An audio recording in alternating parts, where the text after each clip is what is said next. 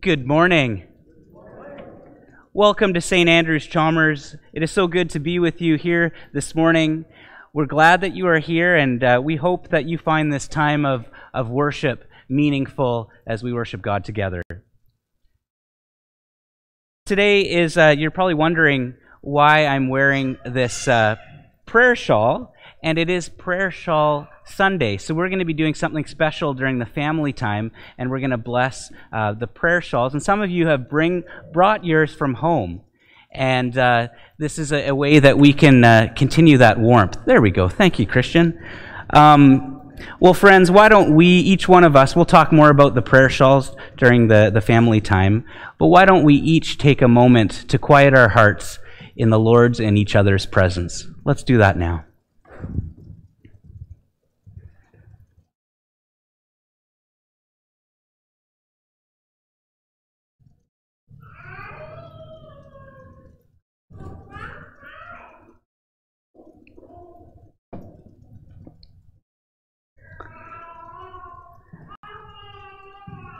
Friends, the 67th Psalm, it says this God, mark us with grace and blessing.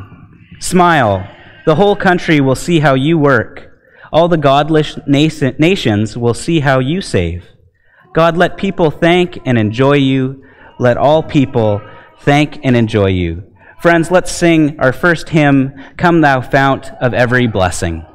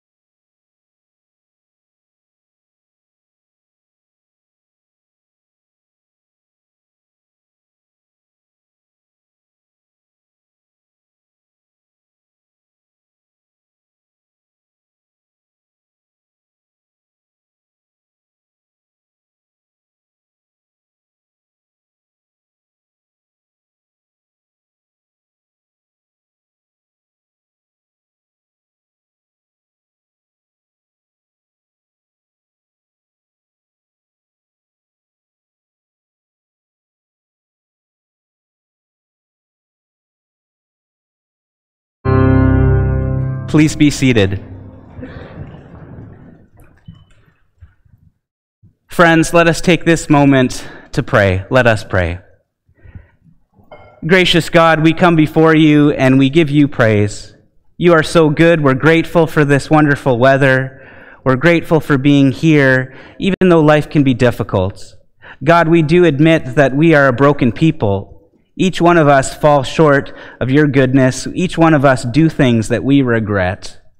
And, and gracious God, we are so blessed to have a Savior that steps in to the way for us, who dies and rises again so that sin will not have the last word.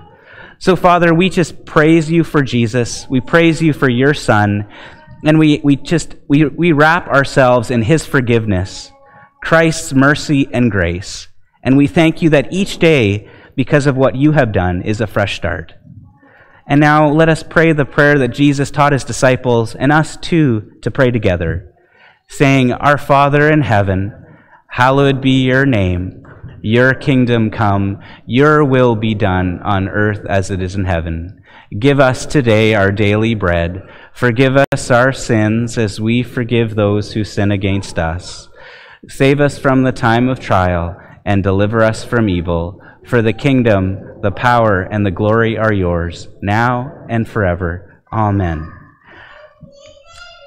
Well, the wonderful thing about being a child of God, being a, a sheep following the Savior, is that that's just simply it. We get to follow our wonderful Savior. What I'm going to do now is we're going to start family time a little early. And so, all the kids, if you want to come over here, and I'm going to sing, we're going to sing a song together. It's called the Sheep Song. And so there's a few uh, actions that I need your help with. So come on over here, guys. You know this song? Oh, good.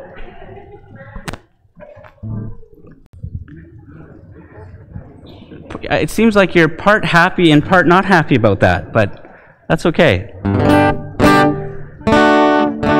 Come on over here, guys.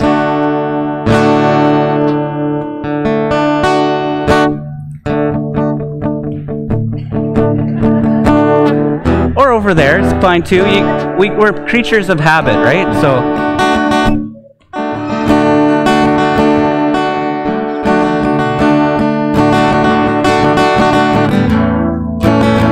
All right. So I know some of us know the actions. There's just one action, and that's basically this. It's like, I, I just want to be a sheep Ba ba ba ba. I just want to be a sheep. Ba ba ba ba. I pray the Lord my soul to keep. I just want to be a sheep. Ba ba ba ba. All right, so that's that's it. It's not too hard. And big big folks too were able to uh, participate in that as well. So I'll just get it started, okay? So it goes. I just wanna be a sheep, ba ba ba ba. I just wanna be a sheep, ba ba ba ba. I pray the Lord my soul to keep. I just wanna be a sheep, ba ba ba ba. I don't wanna be a goat, no. I don't wanna be a goat, no. Cause there's no hope for goats. I don't wanna be a goat, no. I just wanna be a sheep, ba ba ba ba. I just wanna be a sheep, ba ba ba ba. Now I pray the Lord my soul to keep. I just wanna be a sheep, ba ba ba ba. I don't wanna be a hypocrite, and I don't wanna be a hypocrite, cause they're not hip to it.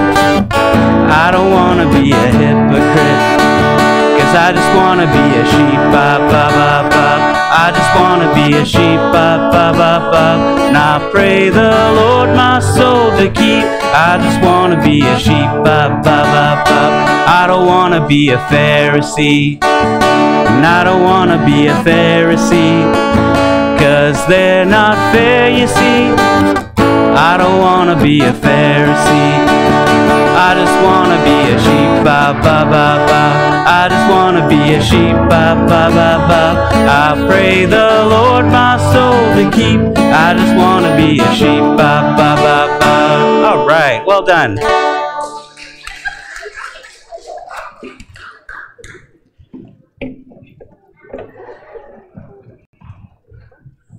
So, right now, I'm going to invite Jean to come forward, and, and we're going to talk more about prayer shawls and the ministry that we have here at the church called the Prayer Shawl Ministry. Okay, guys, part the seas there for Jean to come. Yeah. Come oh forward, no, right? no, no, no! It's okay, Sean. Oh, I'm going gonna stay oh, right here so I can see their faces. Okay. And the first thing I'm going to say is I'm so pleased to see all of you at church today. Did you have a good week? Yeah. Yeah, And was school good? Good. Okay. I brought a little pink bag with me. And you know what? I'm going to need a helper. And who would like to be my helper? Oh my goodness, it's a hard choice for me to make. Shona, can, and the next time I do it, I'll ask Addie, okay? Come on, Shona. Now, what I want you to do for me, I want you to look in this bag, I'll hold it, and I want you to find out what's in there. Would you take a look? Okay. Now, you may have some paper, just throw it about, it's okay. There. We can pick it up after. Now, can you can you be, get that out for me? Now, I want you to show it to them, okay? This is a very special one. And would you like to let them feel it? Do you know what this is? Does does does anyone know? Okay, what is it then? A what? A quilt. Well, it's kind of close to a quilt, but if I hold it like this, and you can all feel it, feel it like that, okay? And what does that remind you of? Does it not remind you of something warm? And I'm going to show you. This is called a prayer shawl. And this is my prayer shawl okay? And the ladies of our church, Shoni, you can sit down now. It's okay. And thank you for your help, okay? Anyways, the ladies of our church here, for a long, long time, have been knitting prayer shawls. And we send them to people who are sick. And these people just love them because why? Why would they like them? Look, what am I doing? Oh, they need to be warm and also they're cozy. And when we send them, we get a nice bag and we get a special card. And in our card, we put a prayer. And it's always very special because it tells them that God loves them and we love them and we're thinking about them. And you know, God cares for you and you and you and you every day, wherever you are, if you're at home or if you're at school or if you're at play. So now I'd like to have a little prayer and I want you to close your eyes and I want you to, bow your heads like this, okay? And I'm going to say a few words and I want you just to say after me.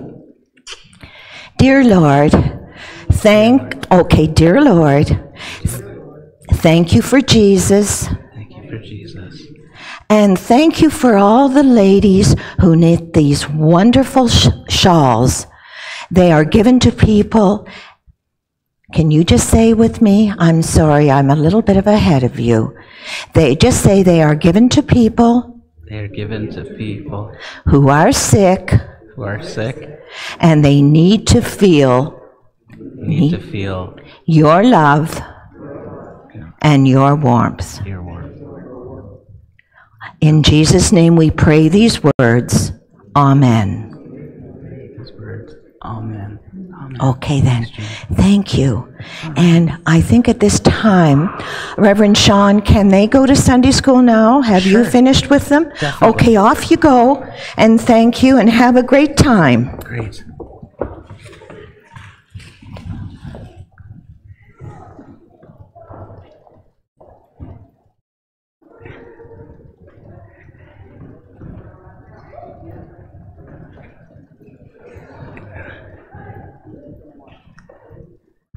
Hey, Jeff, could you just go back there and provide some backup for the teachers for a little bit?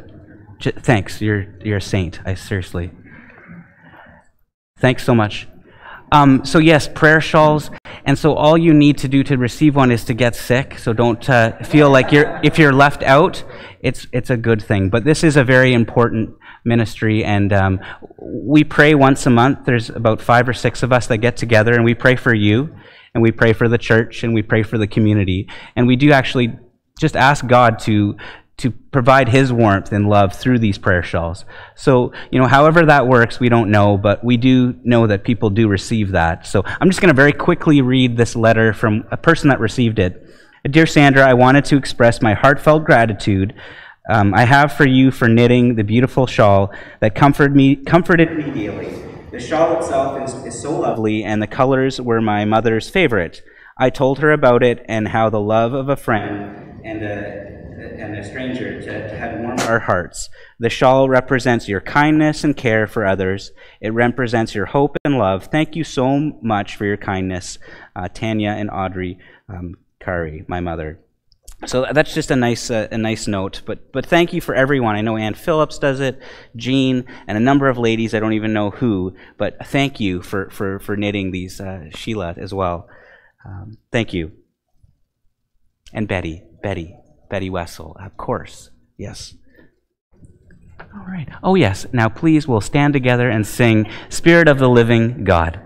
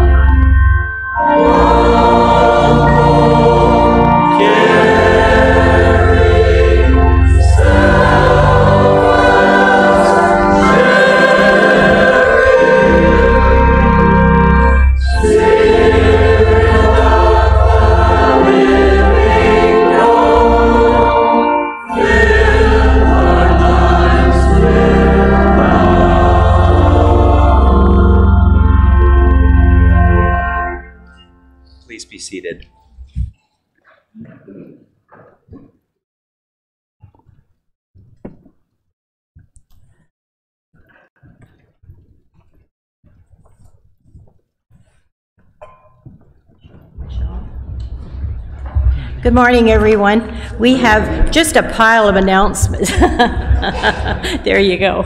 Thank you. We have a pile of announcements this morning, so I'm going to ask you to, they are printed in your bulletins, to be sure and read them uh, when you get a chance, when you get home. Not during a sermon, though. He'll get mad at you.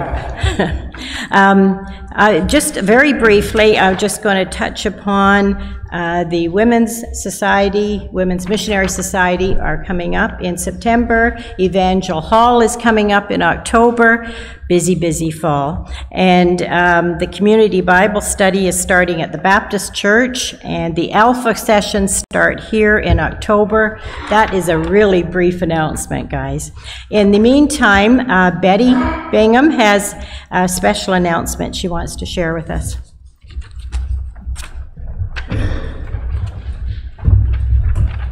Good morning. To celebrate the 36 years that David Phillips has been our clerk of session at St. Andrews Chalmers, we are going to have a small celebration of lunch after the service on Thanksgiving Sunday. We also would like to make a donation to CREEF on behalf of Dave. So John Gould and I will be collecting any of these funds that you would like to donate for that purpose. It's going towards uh, doing things for the for handicapped and making things more uh, easily available for everyone there. So please see us if you wish to contribute. Thank you. Thanks, Betty. And one important announcement that I didn't touch on was our Orange Shirt Day, which is coming up next Sunday. Um, just to remind you about it, and I think we've heard about it every week, and it's very exciting. Uh, there will be tickets for the dinner. Where's Betsy? Um, Are they in the office? In the hall. Betsy has a table set up downstairs in the hall, and she will have tickets available there for the dinner that will be on um, the end, at six, over at the Anglican Church afterwards. And speaking of the Orange Shirt Day, I think Pat has an announcement. Good morning. Okay, what we are looking for is we want to be as authentic as we possibly can for Orange Shirt Day. So we're looking for some people to make bannock. Now that is the unleavened bread that the Aboriginal people took when they went from camp to camp. And of course, they didn't have ovens. It went into the frying pan or over the coals, and it was baked that way, and it kept for a long time. There is a very simple recipe on the internet, and I think, did you put it up, Betsy? It's downstairs. So far, we have three people who are willing to try this. You don't even have to roll it out, guys. It's knead and push, and then put it in the oven. It's not difficult. Um, to make it taste even better, we've had some volunteers who are going to bring homemade jam. And um, I look forward to hearing from anyone who would like to give this a try. Trust me, everybody knows I bake at Breeden's. And so you can do it. Um, I'd also like to express that this day is so important. Remember, we had the Kavanaugh series? This was one of our special Sundays. And also, this is our mission for the church for the past year and a half. So try really hard to get here, and we'd love to see you all in orange t shirts. We know that most of them are sold out. Doesn't matter what color of orange, just wear an orange shirt, blouse, sweater, whatever. And we'll look forward to seeing you all in your bright finery next Sunday. Thank you, Pat. Um, that sort of concludes my part, but we have a very important, uh, very important information about the presbytery visit coming up that um, I've asked Sean to share with us. Thanks, Joanne. Yes, um, October the 21st, every five years, the, the presbytery, all the churches, Presbyterian churches in the area, um, they visit um, each church in the area. So it's kind of our turn. I think it's almost like six or seven years. But um, so October the 21st, four people from presbytery will come to our service and then after the service they'll just take any questions. And uh, so what we've done um, they've asked us to as well is uh, provide you with a blue questionnaire here. So we don't expect you to fill this out but over the next three sundays if you're able to you know at your home think hard at, about our programs etc fill it out and there'll be a questionnaire box at the back of the church here. You just fold it up you put it inside. But i think it's, it's just important that um, you know, we're not perfect, but we need your feedback as well. And so the presbytery wants that so that, you know, we can make sure everything is going well together. So please take that time. It would really help um, the church, our church out. Thank you.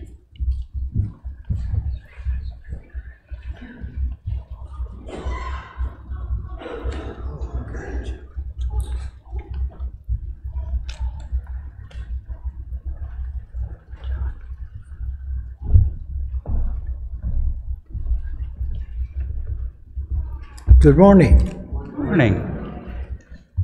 Your first scripture reading this morning is Matthew chapter 23, verses 25 to 33.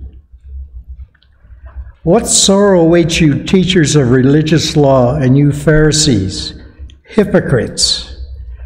For you are so careful to clean the outside of the cup and the dish, but inside you're filthy full of greed and self indulgence.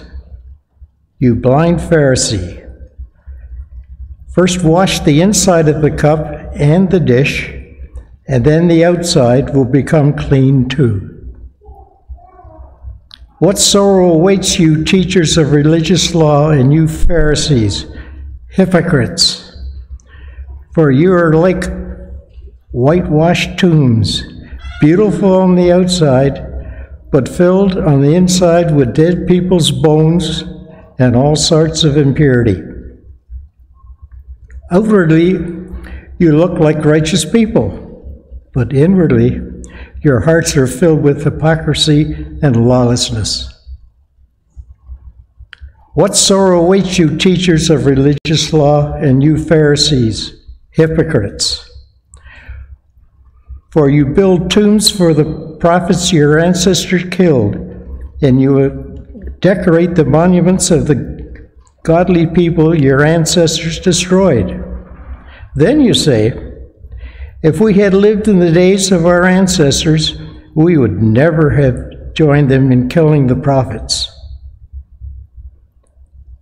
But in saying that, you testify against yourselves that you are indeed the descendants of those who murdered the prophets. Go ahead and fish out your arteries your ancestors started, stakes, sons of vipers. How will you escape the judgment of hell? The second reading is from Ephesians chapter 2, verse 10. God saved you by His grace, you believed. And you can't take credit for this. It is the gift from God. Salvation is not a reward for the good things we have done, so none of us can boast about it. For we are God's masterpiece. He has created us anew in Christ Jesus, so we can do the good things He planned for us long ago. These words contain God's wisdom and guidance for us. Thanks be to God.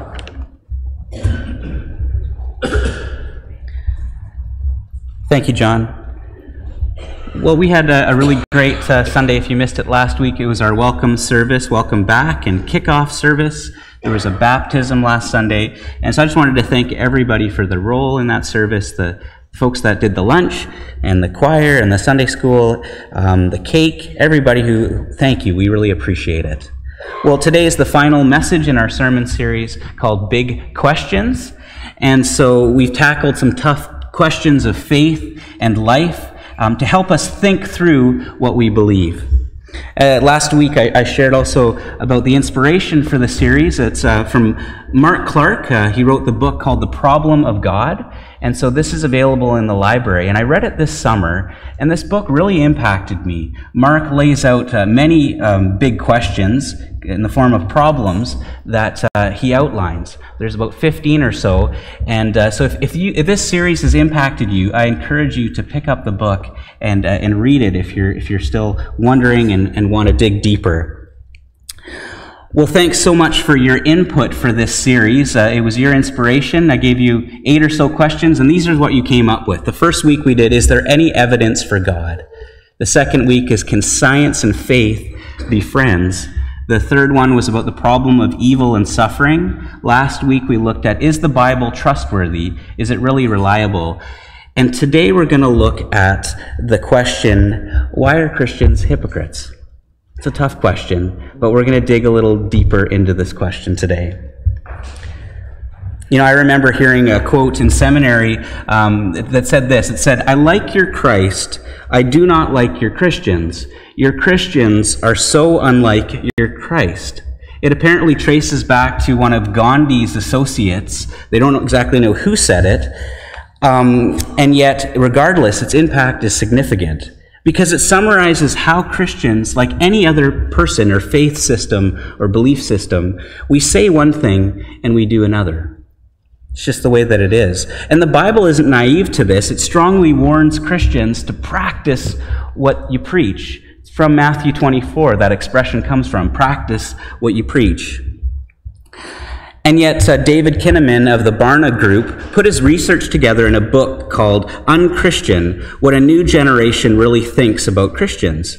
And through interviews with different generation, David concluded that Christianity was, a, was rejected most often not because of the teachings of Jesus or because the Bible was unreliable, but how the people that followed these things acted.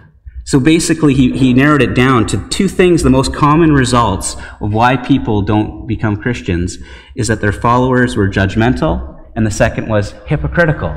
So these two things, it wasn't the teachings, but it was the way that people followed followed these teachings. So critics and skeptics of Christianity and, and religion, um, they often blame religion because of the unloving nature of its followers. And I know it's way more complicated than blaming it on religion, because often religion is married with politics and ethnic realities. So you can't just put the blame on religion. And yet, if you think about all that's happened in the last while 9 11, extremism, it's hard not to blame religion sometimes. And we Christians, we need to wrestle with this question why are Christians hypocrites? Because we may turn other people off as well. Well, one of the things to be aware of biblically is that Jesus taught his disciples that not everybody is a true disciple. I mean, Jesus experienced this firsthand. He's with his, his, his buddies, the 12. They're at the table, and, you know, Judas is there too. And so Judas is the one who, with a kiss, he sealed Jesus' fate as the guards came to arrest Jesus. He alerted the guards to. So Jesus knew about betrayal, he knew about false disciples. And, um, you know, I think if we're, we're called to be not judgmental, but discerning of the teaching that we have. And so the way that the apostles taught, if it sort of, if the person is um, lining it up with Christ, if they're teaching Christ about his life and his death and his resurrection, that's a good marker to say, okay, let's listen to this person. But there's a lot at stake, you know. And I remember um, I talked with a friend just this week, and um, she just shared with me how um, she was asked to be a sponsor of her nephew um, in a particular denomination, and she was really upset that she didn't fit the criteria to be this sponsor. And I, I felt bad for her sitting there with her. Um, you know, that some people, she just made this comment. She said, you know, some people, um, they may fit the criteria, but I know them. They're not very good people. She made that comment, and it stuck with me you know, you, you, you, may not fit the criteria in that she wasn't allowed to be part of this, this celebration.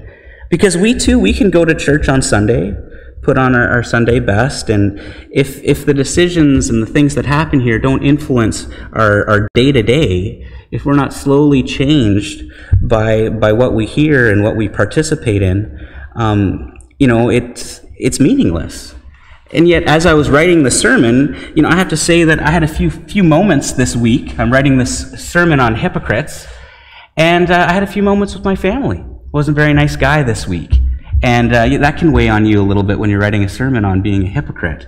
But uh, this is the reality of the walk that we have on our Christian faith. And yet, Jesus took issue with people who say one thing and do another.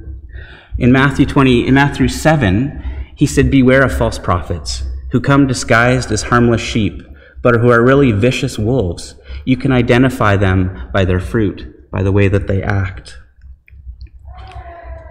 You know, it's important to, for us to realize that we naturally put our best face forward. It's important to, to know that sometimes we can just, someone passes by, how you doing? And we just say, yep, just fine, everything's great. And deep down we know that it's tough. And so it's okay to, um, to seek out people that we can trust and share what's going on in our lives. Because each one of us do go through difficulty.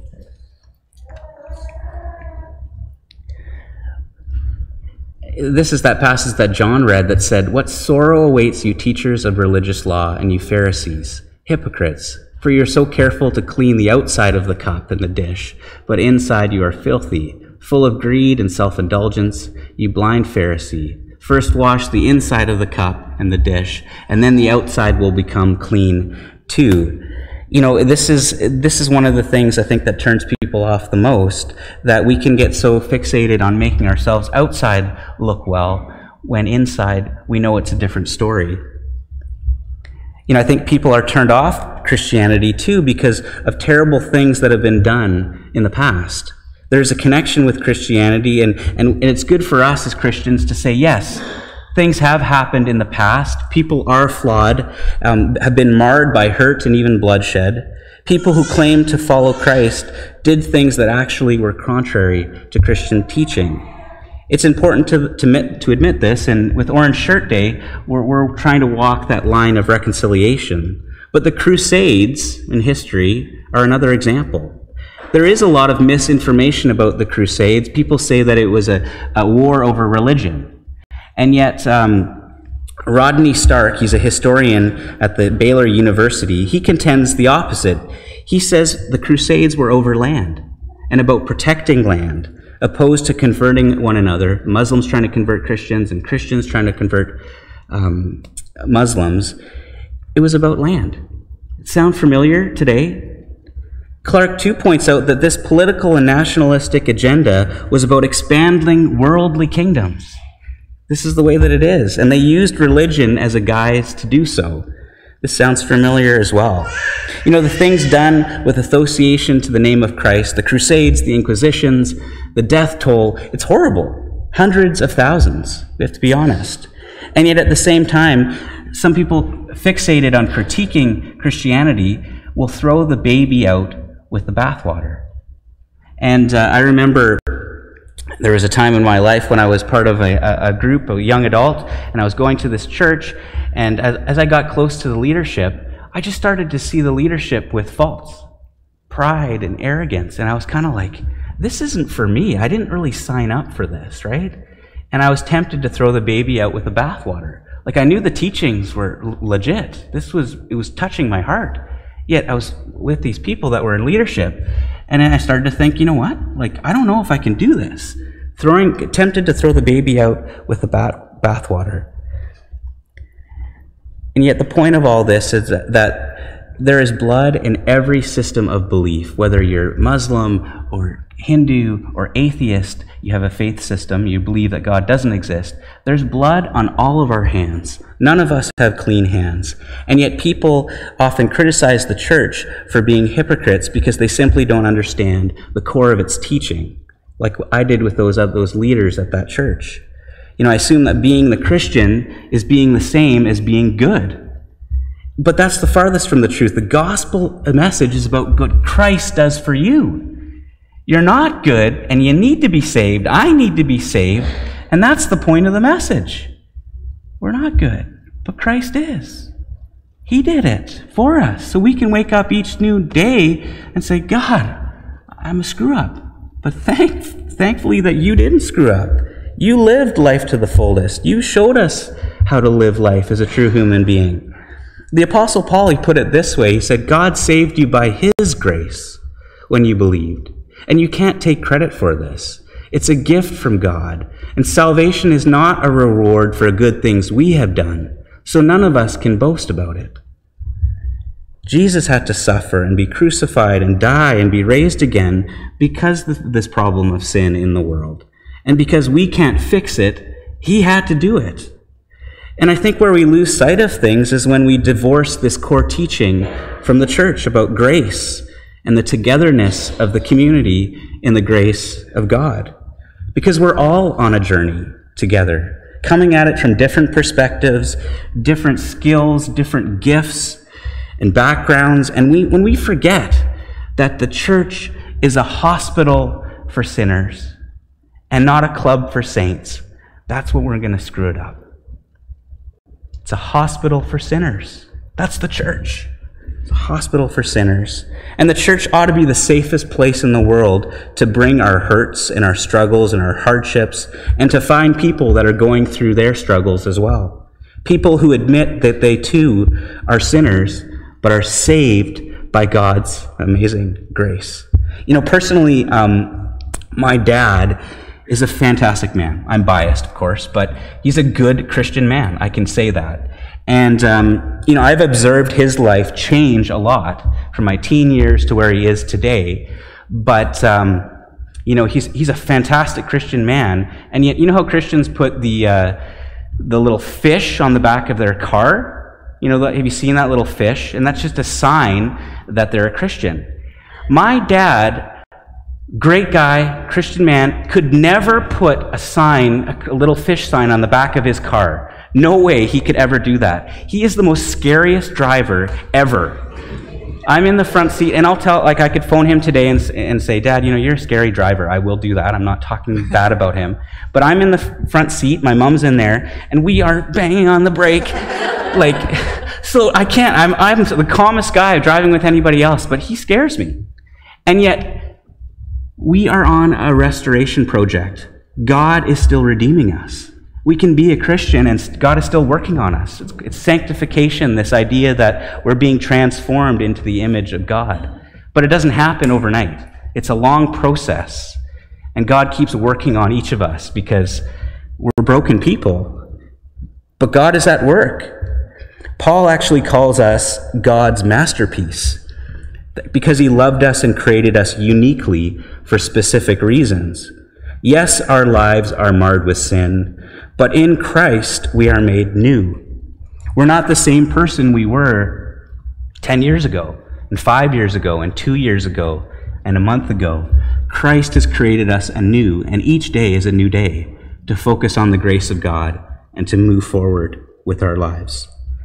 People may, people may see us as hypocrites, and I remember, you know, may, they may say, you know, I remember when you used to live like that. But that is not today. Today is a new day in Christ. Christ sees us differently. Christ knows our hearts. Christ is willing to stand up for us when it matters the most. Christ is at work bringing good things out from our lives. Look, I understand that living in this postmodern society when nothing, it's all shifting sand. Nothing is secure, nothing is solid anymore. It's shifting. We can't, it's, it's so hard to know what is true and what is good anymore. Power being deconstructed, you know, political leaders with power, and you're like, huh? This doesn't make any sense. And yet, the foundation of the Christian faith is Jesus, not the people who try to follow him. Did you get that? The foundation is Christ. The, pe- the people that follow him will let you down.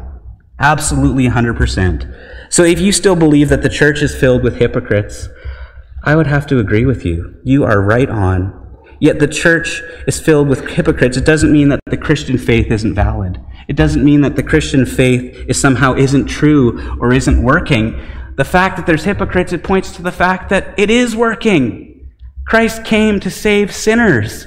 And Christ is doing his work in the church with a bunch of hypocrites. That is why in your homes, you need to love your wife and your husband, your kids and your grandkids. You need to have grace with them. Our Lord loves us enough that he's willing to die for us. And we need to do that for our loved ones and for those in our community. Because all of us are here not because of what we have done, but because of what Christ has done.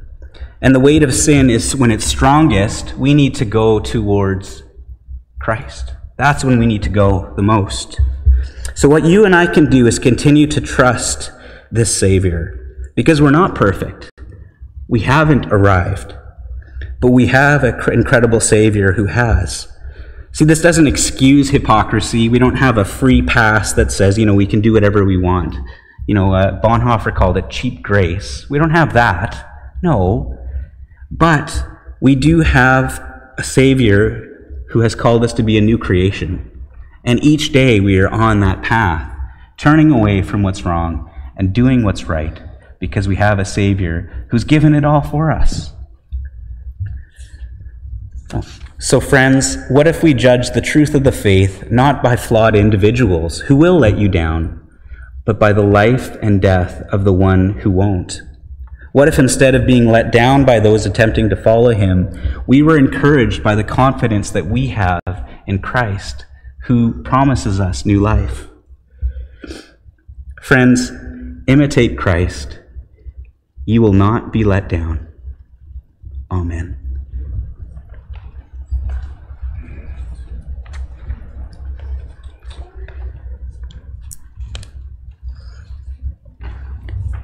Our next song is Amazing Grace, My Chains Are Gone.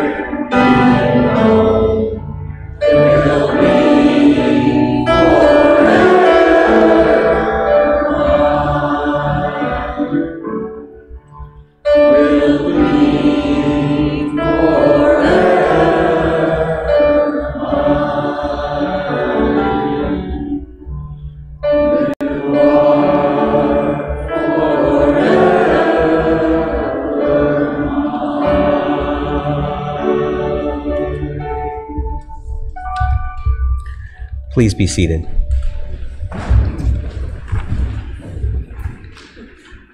Let us pray.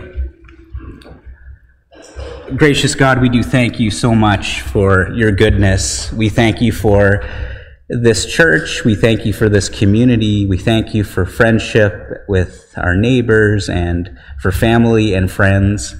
God, we have so much to be grateful for. Your grace, um, so evident in our lives.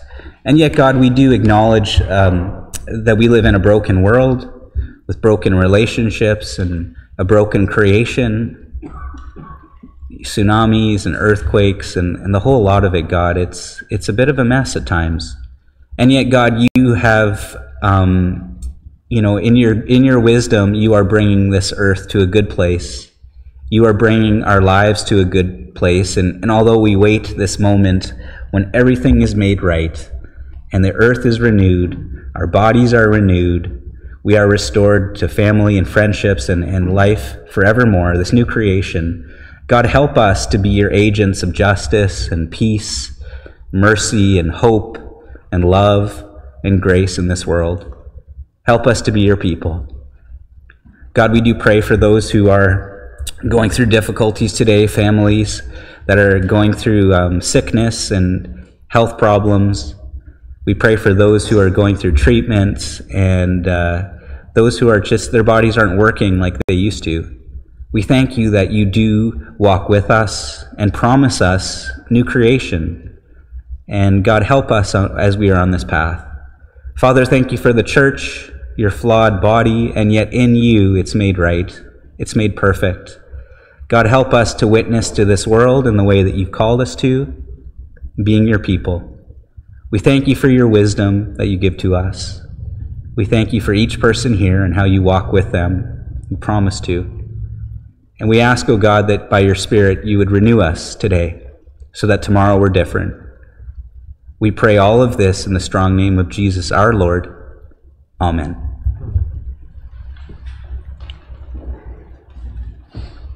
Our next song is um, actually, if the ushers could come forward now for the offering.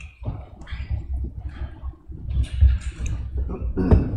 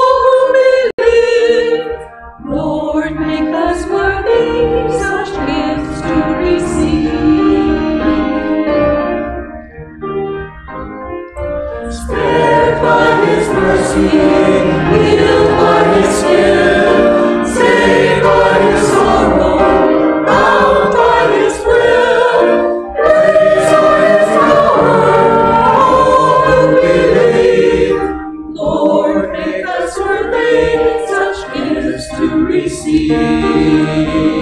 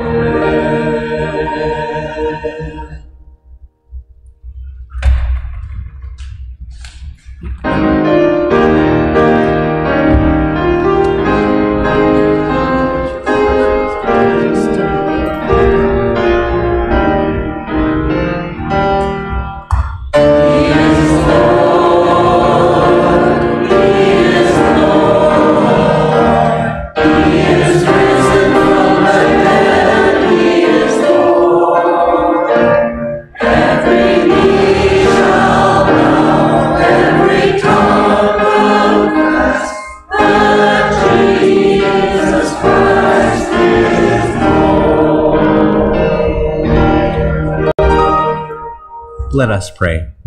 Gracious God, thank you so much for these gifts. We know that uh, your grace is abundant. Lord, help us to use these gifts uh, to get this message out in this community, to, to build up this community in your name. We pray all of this in Jesus' name. Amen.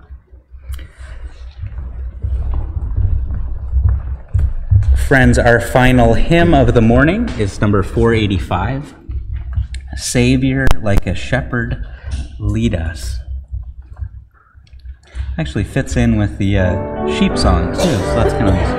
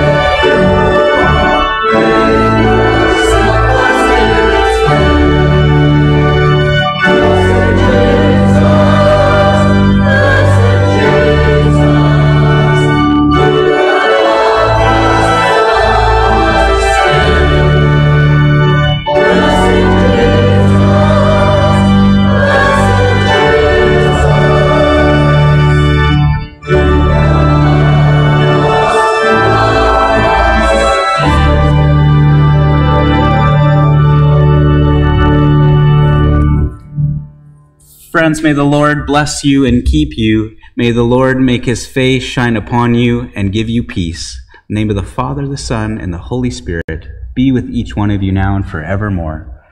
Amen.